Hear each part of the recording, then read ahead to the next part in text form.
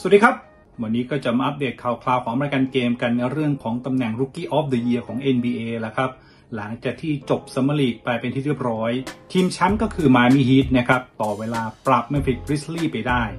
โดยคนที่ยังเป็นเต็งหนึ่งณปัจจุบันนี้ก็คือทาง Zach Edey นะครับ center ของ Memphis Grizzlies เขาถูก draft เข้ามาเป็นอันดับที่ 9 ถือได้ว่าฟอร์มนั้นทางVegas เนี่ย เห็นแววมาตั้งแต่ก่อนหน้านี้แล้ว เพราะมีการอัปเดตให้เป็นเต็งหนึ่ง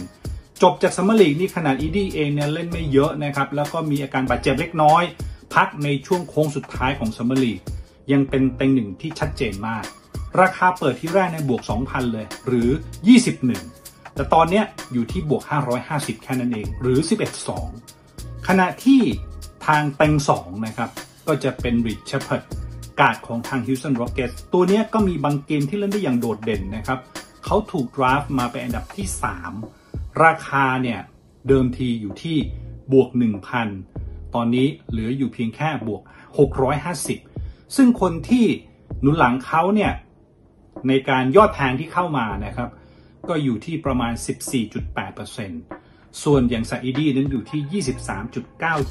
23.97%นะครับ ขณะที่อดีตเต็งหนึ่งเดิมเต็งสองเดิม เพราะว่าสถานะในการ draft เนี่ยมาเป็นคนแรกกับคนที่2นะครับ เป็น2ผู้เล่นฝรั่งเศส อย่าง Zaccharie Risacher ของ Atlanta Hawks ตัวนี้เนี่ยเดิมทีบวก 450 นะครับ เล่นไปเล่นมาเนี่ยตอนนี้บวก 800 ละ ขณะที่ Alex Sarr forward ของ Washington Wizards ราคาตอนแรกเป็นเต็งหนึ่งเลยบวก 350 ตอนนี้ฟอร์มหล่นไปเป็นบวก 900 แล้วนะครับ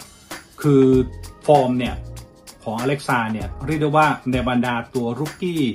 ที่ถูก draft มาอันดับ top เนี่ยเขาดูขี้เหร่สุดก็ว่าได้นะครับ ขณะที่คนอื่นๆที่อาจจะเป็นม้ามืดที่จะสอดแทรกในรางวัล Rookie of the Year เนี่ย ก็มีอย่าง Stephon Castle นะครับ ตัวนี้เป็นกาดของทาง San Antonio Spurs ซึ่งโอกาสในการลงเล่นอาจจะต้องรอดูว่า Chris Paul นั้นจะปรับตัวกับสเปอร์ในรูปแบบไหนได้บ้างนะครับ และมี Matas Buzelis ของ Chicago Bulls ก็เห็นฟอร์มที่ผ่านมานั้นดูดีพอสมควรเลย ก็อยู่ที่ราคาบวก 1,000 ขณะที่คนหนึ่งครับแฟนเลเกองก็เอาใจช่วยคือ Dalton Knecht ที่ถูก draft เข้ามาเป็นคนที่ 17 นะครับ ก็ราคาเนี่ยเดิมที่อยู่ที่บวก 1 8 0 0 แต่ในซัมเมอร์ลีกเนี่ยดูกระเตื้องขึ้น แล้วก็เล่นเกมบุกค่อยสมราคากับที่หลายๆคนนั้นคาดหวังกันเอาไว้ ก็อยู่ที่ตอนนี้ล่าสุดอยู่ที่บวก 1,000 เช่นเดียวกัน นี่เป็นกลุ่มรุกกี้ที่มีหวังในการลุ้นรางวัลในบ้านปลาย แต่บอลนี้เขาบอกนะครับว่า ตัวที่น่าจับตาแล้วก็มีคนชอบแพงกันเยอะสุด คือยอดมันอาจจะไม่เยอะยอดเงินอาจจะไม่เยอะ แต่จำนวนคนเล่นเนี่ยเยอะมากสุดเลย ก็คือทางบอนนี่เจมส์ ลูกชายของโลบอลเจนเนี่ยแหละครับ ราคาของเขาเนี่ยมันสุดกู่เลยนะ คือ